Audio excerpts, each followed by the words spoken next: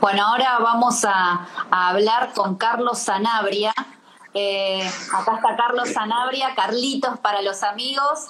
Eh, bueno, Carlos es el hijo mayor del sargento Víctor Sanabria, que es uno de los asesinados el 5 de octubre de 1975.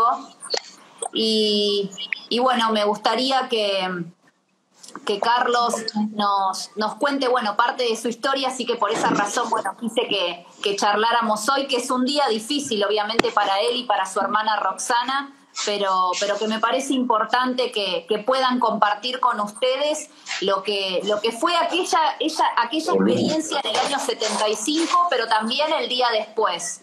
Así que bueno, Carlos, te doy la bienvenida y, y te quiero preguntar, bueno, ¿cómo estás? ¿Cómo estuvo el homenaje? Si pudiste estar presente. Hola Victoria, buenas noches. ¿Se me escucha bien? Sí, perfecto. Sí, Victoria, bueno, un gusto estar con vos en tu, en tu programa, en tus redes. Eh, sí, estuve en el acto compartiendo con la familia y como siempre una fecha muy especial, de mucha emoción, de mucho recuerdo, de muchas cosas que se te viene a la cabeza, pero fundamentalmente, como siempre digo, año 45 y estar todos los días durante estos 45 años, digamos, tratando de evocar a nuestros héroes, a estos, a estos 12 soldados que son unos héroes y el policía también que estuvo acompañando en esta gesta. Así que sí, muy contento, muy contento, en el cual hoy participó el jefe del ejército, el Estado Mayor del Ejército, estuvo nuevamente el gobierno de la provincia de Formosa en representación del vicegobernador. Eh, el público no pudo asistir por una cuestión que todos sabemos que es la pandemia pero los familiares estuvieron todos representados por, por los más, eh, digamos, que estaban en condiciones de participar. Pero muy contentos porque hubieron tres madres que hoy hicieron el esfuerzo de estar ahí en el, en el regimiento. Bueno, quiero aprovechar antes de que empecemos a charlar para saludar también a Vicky Rojas, la hermana del soldado Rojas que está por acá también, nos está mirando, nos saludó, así que bueno, mandarte un beso Vicky eh, y gracias también por acompañarnos. Eh, bueno, me gustaba que nos contaras cómo se integraba tu familia en 1975, cómo, cómo era el día a día de los Sanabria en aquel año. A ver, eh, año 75 la familia estaba conformada, yo tenía siete años, mi hermana 11 meses, eh, mamá tenía, tenía 29 años y papá tenía 31 años. Y bueno, éramos una familia normal, eh, vivíamos en el regimiento, en el frente del regimiento, digamos, prácticamente nos separaba de la Guardia de Prevención una calle que hacía una distancia de 70 metros. Eh, bueno, yo recuerdo Imagínate que tenía siete años y en esos años puedo recordar, digamos, el hecho de que yo era un niño que me cruzaba al regimiento, hacía mi vida en el barrio, me cruzaba con mi karting en el playón que tiene el regimiento y bueno, ahí jugaba, estaba con mi papá, porque hay que acordarse que en Formosa en el año 75 se vivía una paz social que no tenía nada que ver con la violencia de los de los grandes centros como era Buenos Aires, Córdoba y otras provincias. Formosa era una provincia muy tranquila, con mucha paz, con una cultura de gente muy, muy sumisa, muy, muy tranquila, muy tranquila, sin, sin saber que a nosotros como familia nos iba a tocar una tragedia que nos marcó para toda la vida. Eh, y bueno. ¿Ustedes eran de Formosa o, tu papá ya había tenido destinos en otras partes del país? ¿Cómo, cómo había sido la carrera de tu papá? Papá, el primer destino como cabo se recibe en, la Sargento Cabral como cabo de infantería y su primer destino es Formosa. Bueno, cuando viene a Formosa se casa con mi mamá, ¿no es cierto? Y bueno, después, en el año 75, dos meses, tres meses antes de que él perdiera la vida, eh, le cuenta a mamá que prácticamente ya estaba determinado su pase, su primer destino, digamos, después de Formosa a Comodoro Rivadavia. O sea que Comodoro, Comodoro Rivadavia iba a ser el primer destino eh, fuera de Formosa para papá. O sea que ya estaba mamá anticipándose al pase de él para ir a vivir al sur. Claro, estaban, estaban ya en el último tiempo, porque los pases son en diciembre, en enero, por ahí. Así es, así es. En diciembre, en diciembre ya creo que fines de diciembre él ya tenía todo previsto como para viajar con la familia y hacer el traslado de los muebles, el traslado de, bueno, de toda la vida nuestra. Pero tampoco no tenía problema él en el sentido de que nosotros éramos chiquitos, Rosana tenía 11 meses y yo tenía 7 años, así que tenía dentro de todo, su primer destino lo tenía organizado. Y el acompañamiento de mamá, que ya ella estaba preparada como para su primer destino también como mujer de un militar iba a ser un nada que ver Comodoro Rivadavia con lo que habían vivido en Formosa, era un cambio total. Sí, imagínate lo que es Formosa. Eh, Formosa una temperatura normal, hablamos de 40, 45 grados, y pasar al sur, sí, obviamente que iba a ser un, un choque tanto cultural como de, de, ambiente. Así que, bueno, sí, eh, pero lo más lindo de todo esto, yo siempre recuerdo, es las cosas que mi mamá me contaba de, papá previo a que suceda todo esto. Y bueno, esas fueron cosas que nos fue marcando mucho en la vida también. ¿Qué, qué fue lo que pasó el 5 de octubre de 1975? Y el 5 de octubre del 75 una fecha trágica, una fecha trágica que marcó en la provincia de Formosa un antes y un después. Eh, lamentablemente las decisiones políticas del momento fueron las incorrectas de venir a atacar a un pueblo, a una ciudad, la cual no estaba, digamos, eh, comprometida con toda la situación política que vivía el país, con una población que estaba creciendo, con un regimiento que tenía una actividad al servicio de la comunidad, con gente muy particular por su forma de ser. Eh, y ese 5 de octubre alteró totalmente la paz de los argentinos, alteró la paz de los formoseños fundamentalmente porque nos marcó a todos. Así que el recuerdo mío es que este, el 5 de octubre del 75, con siete años, fue algo que nunca me puedo sacar de la cabeza por el hecho de vivir enfrente del regimiento y bueno, los gritos desesperados de, mi madre, con, en brazos con mi hermana de 11 meses, presenciando todo eso, esos momentos de, locura, de, de, explosiones, de humo, de corridas, de movimiento de uno moviéndose de acá para allá. Y bueno, y todo lo que implica un combate que, es muy fuerte, que es muy fuerte y te marca mucho en la memoria y te marca mucho también eh, a lo largo de toda mi, me marcó a lo largo de toda mi vida, pero trato siempre de sacar lo positivo de eso como fecha trágica, haberlo perdido a mi padre, pero también estoy muy orgulloso de haber tenido un padre con 11 leones que, que defendieron la patria. Ese día era, era domingo y, ya se supone que ustedes ya habían almorzado, ya, ya estaban, digamos, en, la sobremesa. ¿Vos te acordás algo de eso? No, o sea, recuerdo que la familia estaba en casa, había unos hermanos de mi mamá, de mi papá, unos tíos de Rosario que estaban, eh, después estaba unos primos, y sí, son recuerdos vagos, pero había una reunión familiar, una reunión familiar en la cual ese domingo papá fue a cubrir la guardia de otro camarada, él cubrió la guardia porque le solicitó si le podía dar una mano y entonces él, le cubrió a las 3 de la tarde. Y bueno, era como un presentimiento la reunión familiar a su despedida. Yo con el tiempo y lo que charlé con mi mamá después de muchos años parecía que era la despedida de él porque todo surgió muy de golpe, el hecho de que el destino lo puso en el camino de que el camarada le pidió hacerle el reemplazo en la guardia. Así que bueno, y también recuerdo mucho que en ese 5 de octubre, después que se terminó de almorzar, él le, pide a mamá, bueno, vamos a tomar uno, acá en el norte se toma mucho el, el mate frío, que se le dice tereré que es una, es una infusión que tomamos mucho acá en el norte por el calor. Y bueno, él le dice a mamá, déjamelo, lo voy a llevar a Carlito conmigo y vos le bañás a Rosana y después te vas y tomamos unos tereré allá, que va a estar tranquilo. Y le, lo que son las cosas de la vida, mamá parecía como yo digo, una leona posiblemente que interiormente percibía que podía suceder algo, le dijo, no, déjalo que él se va a ir conmigo y con la nena. Así que anda tranquilo vos que enseguida vamos, la baño y nos vamos los tres. Y bueno, cosa del destino, pasó 40 minutos que se suscitó el ataque cobarde de gente que entraron con un solo fin de, de matar y robar armamento para los fines que ellos tenían. ¿Y cuándo te acordás cómo fue el día después o, o en el momento en el que en el que ustedes se enteran de que tu papá fue asesinado?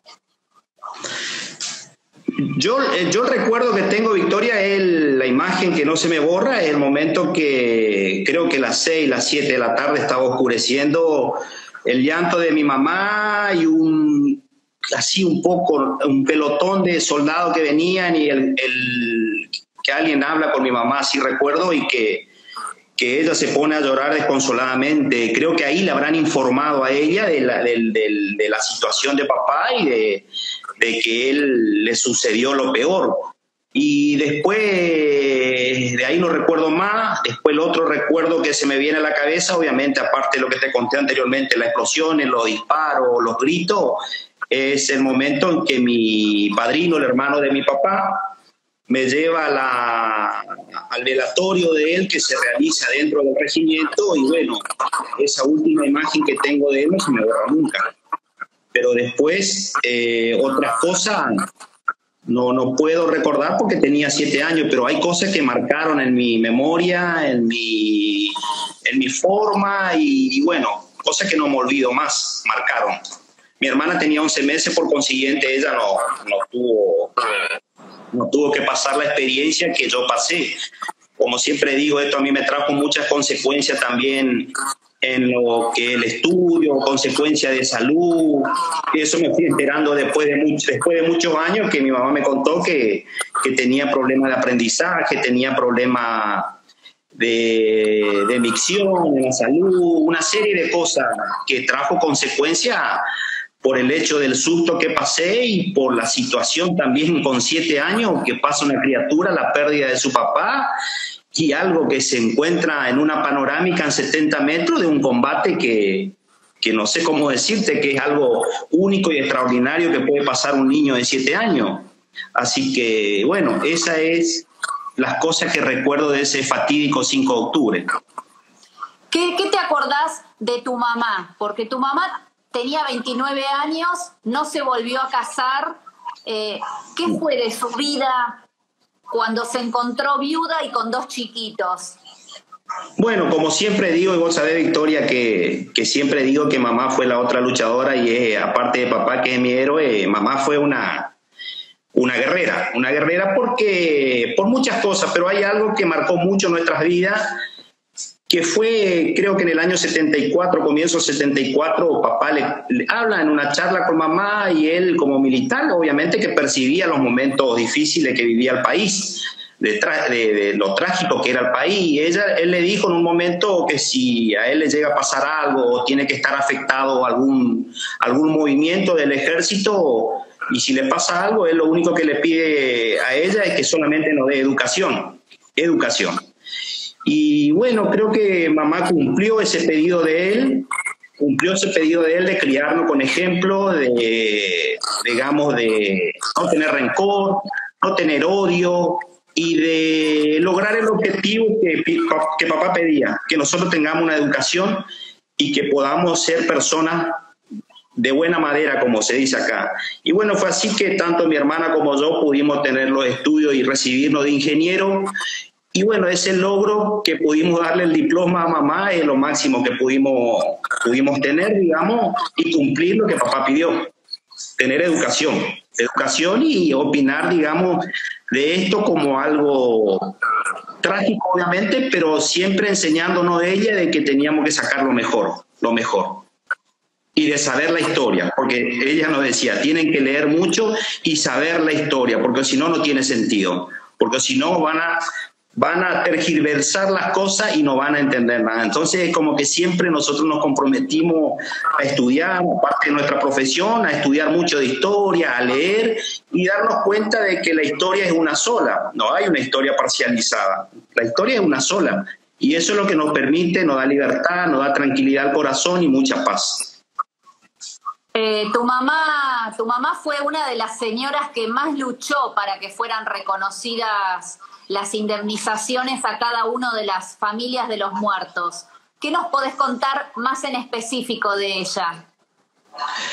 Sí, mamá fue una de las... Lo que pasa es que mamá tuvo muchas situaciones eh, muy, muy bravas, muy movidas por su salud. Ella se le despertó la diabetes a los 40 años, imagínate, le pasó factura todo lo que vivió, luchó con su enfermedad, luchó con sus hijos, con sus hijos chicos, luchó con la educación, y sí, ella fue una persona que luchó mucho por el tema de que ella pedía justicia y quería la indemnización, obviamente, que le correspondía y nos corresponde como argentino y como víctima de, víctima de la política de ese momento. Nosotros sabemos que nos corresponde y se tiene que equiparar. Y mamá, dentro de todo, creo que ese por ahí el dolor que tenemos, que se murió ella con esa tristeza de no lograr, digamos, el, reconocimiento que nos correspondía a la familia, porque mi papá dio la vida por la patria, las instituciones, y hoy estamos viviendo en democracia porque hubo, hubo tipos que pusieron el pecho para que esto pueda seguir funcionando en democracia. Así que eh, mamá sí sufrió mucho, mamá. Mamá sufrió mucho, sufrió la pérdida de su esposo, sufrió todo lo que le deparó la vida después y sufrió el dolor de irse sin tener justicia y sin tener la reparación que le correspondía. Pero esto no pasa por lo económico únicamente, Victoria. Esto es una cuestión también eh, de reparación del corazón, reparación de la verdad histórica, una serie de cosas que por hoy en el país está demostrado que si no, no nos reparamos la vida o nos reparamos todos los daños que produjo los diferentes, los diferentes gobernantes va a ser muy difícil. Entonces nosotros tenemos que dar nuestro aporte también como para empezar a reconstruir todo y a creer de que vivimos, yo creo que en el mejor país del mundo. Lamentablemente yo sigo defendiendo a mi país y creo que, bueno, me, me, duele mucho, me duele mucho como estamos, me duele muchas cosas, pero fundamentalmente vamos a seguir luchando por nuestra reparación, por nuestra justicia y por la, la única verdad que existe, porque hay una sola verdad, una sola verdad. Así es. Por eso, por eso me pregunto siempre, aunque ya lo hemos hablado hasta incluso personalmente, ¿qué siente alguien a quien le mataron a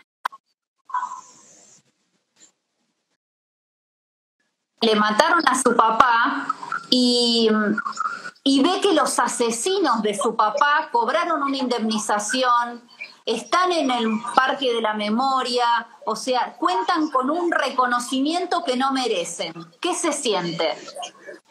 No, eh, siempre sentimos indignación, indignación, eh, odio no, obviamente eso no, eh, impotencia, bronca, y eso demuestra también de las cosas que están todo al revés, eso demuestra de las cosas que está todo al revés, y por eso también estamos como estamos, por una situación que es más, mejor ejemplo que esto, demuestra de lo mal que están las cosas. Es imposible hablar de unidad nacional si no ponemos las cosas en orden.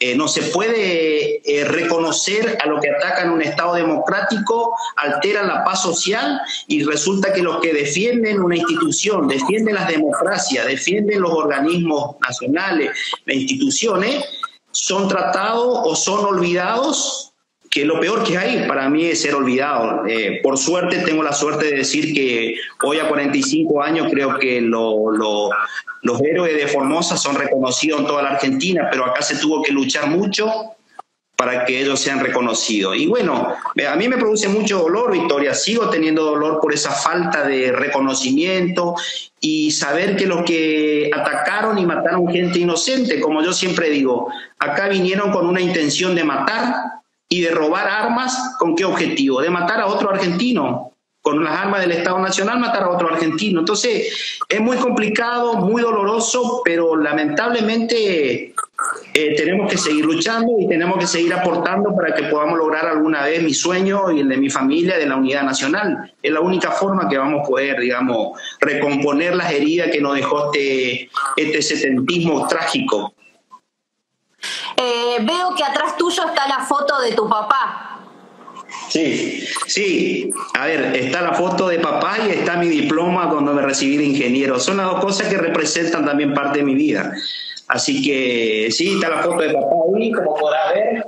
Y bueno, tengo otra foto de él también cuando él hacía la instrucción militar, cuando estaba capacitando a sus soldados, porque él era, él era un, un, soldado, yo digo que era un soldado verdadero porque tenía un carisma y tenía un carácter en el cual el orgullo que tengo es cuando los soldados de él me cuentan lo que él era, lo que él era en su forma de ser y cómo trataba a, a los conscriptos de esa época que venían del interior de Formosa, que eran chicos humildes, eh, por ahí siempre digo, chicos que eran, eran peronistas, porque Formosa siempre se caracterizó por ser una provincia peronista, peronista, chicos humildes, de, de clase trabajadora, obrera, y bueno, eh, no se puede creer cómo, cómo, cometieron el gran error de venir a, matar gente con tanta cobardía, por, yo digo, si es por ideales, bueno, todos tenemos ideales, pero los ideales se manejan de otra forma.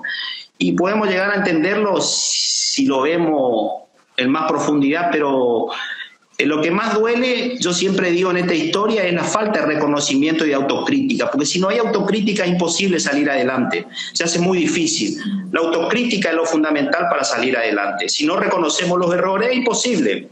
Y yo no defiendo al ejército del 76 en adelante, ni mucho menos.